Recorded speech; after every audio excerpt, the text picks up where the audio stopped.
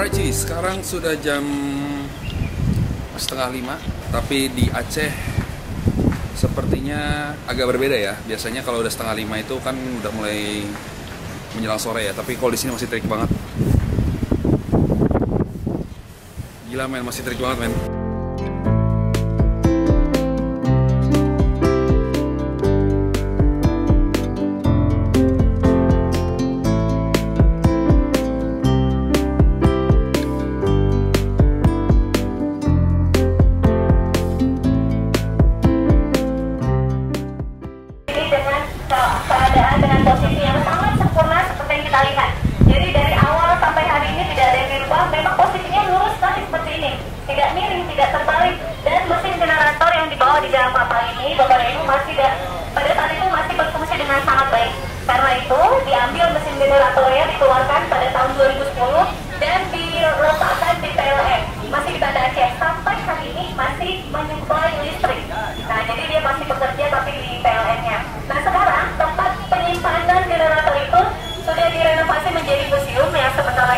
akan naik ke dalam apa? 8 kurang 5 pagi 18 tahun yang lalu.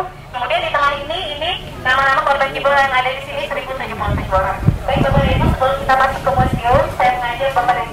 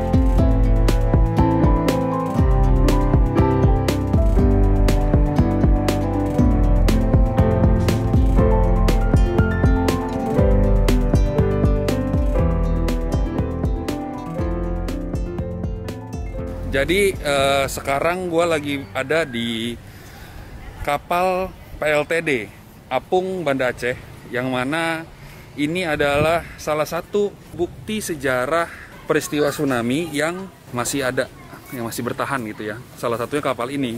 Jadi pas di awal tadi dijelasin bahwasannya ini adalah kapal pembangkit listrik tenaga diesel. Jadi di dalam ada pembangkit listriknya, generator gitu. Dan kapal ini beratnya sekitar 2600 dan hanyut pada saat peristiwa tsunami, tsunami di Aceh waktu itu. Dan kebetulan kapalnya eh, berdiri dengan sempurna, jadinya bisa dijadikan tempat untuk mengenang eh, peristiwa tsunami Aceh. Dan di sekitar eh, kapal ini, pemerintah dan masyarakat setempat mempertahankan beberapa rumah yang terdampak juga gitu loh. Jadi banyak rumah-rumah puing seperti yang ini nih. Nih cuy. Nah ini ini hancur karena tsunami. Terus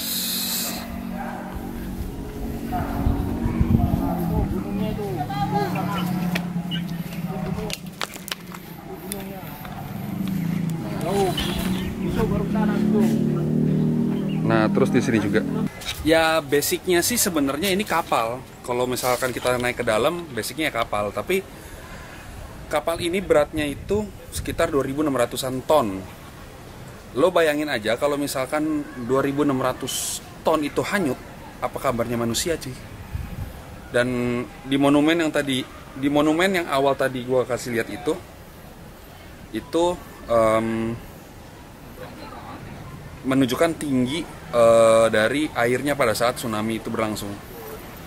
Ya sedih sih. Gua sejujurnya sih nggak nggak bisa ngebayangin ini gimana waktu hanyutnya gitu ya. Kapal segede gini gitu. Dan kalau misalkan dengar kata orang-orang, eh, banyak yang bilang kalau kemungkinan besar ada rumah dan mungkin banyak juga mayat-mayat yang eh, mungkin banyak juga korban-korban tsunami yang masih eh, yang pada saat itu ada di bawah kapal ini gitu kan dan ya begitulah cuy. Semoga uh, para korban diterima di sisinya. Amin. Lanjut kita naik ke atas. Di vlog gue sebelumnya tuh banyak banget gue naik ke atas kapal gitu cuy. Tapi ya mau mudik. Kali ini kita mau mengenang peristiwa tsunami gue dari lan dari lantai berapa nih? Dari lantai dua. Itu rumah masih uh, posisinya di bawah kapal ini. Berarti pada saat tsunami itu itu rumah-rumah yang di sini nih nih yang di sini ini habis semua harusnya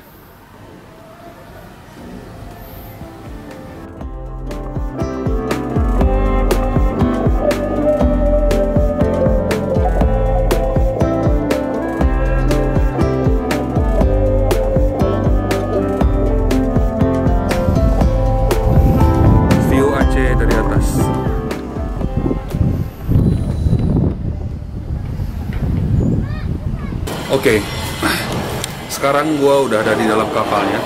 Eh, sorry banget kalau misalkan agak-agak berisik. Jadi eh, sepertinya di dalam kapal ini tadinya itu adalah generator yang sudah dipindahkan ke PLN. Nah, jadi sekarang jadi tempat buat museum gitu. Dan di awal masuk, lu akan dikasih tahu eh, sedikit video mengenai eh, edukasi tentang bencana tsunami ya. Terus abis itu di sini ada sejarah PLTD Apung 1 ini, kapal ini. Lalu mana dia? Oh ini perjalanannya, perjalanan PLTD Apung. Ini apa nih? Oh ini juga sama videonya.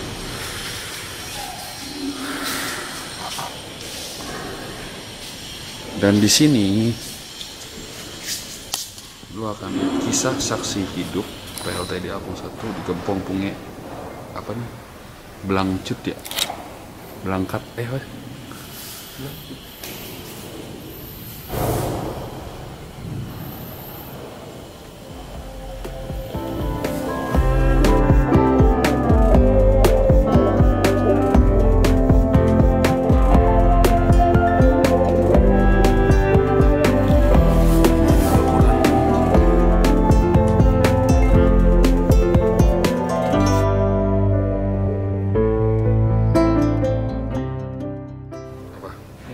Ini mesin PLTD-nya yang buat ini tuh PLTD lo yang bata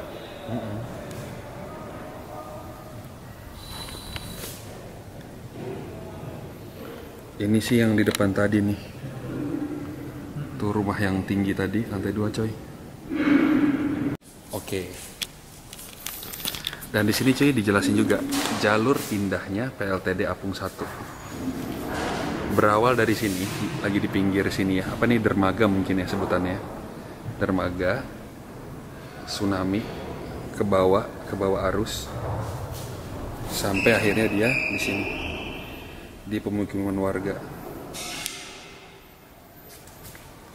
Jadilah seperti ini.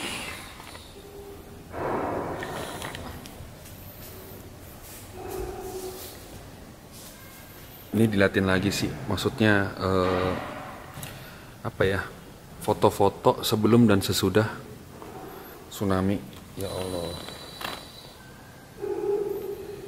Memang mungkin kalau lu lihat di Google atau di YouTube itu banyak banget sih pris apa eh, rekaman-rekaman atau rangkuman peristiwa tsunami pada saat itu. Cuma kalau misalkan lu datang langsung ke sini, lu semakin bisa ngerasain banget sih eh, peristiwa tsunami itu pada saat itu seperti apa.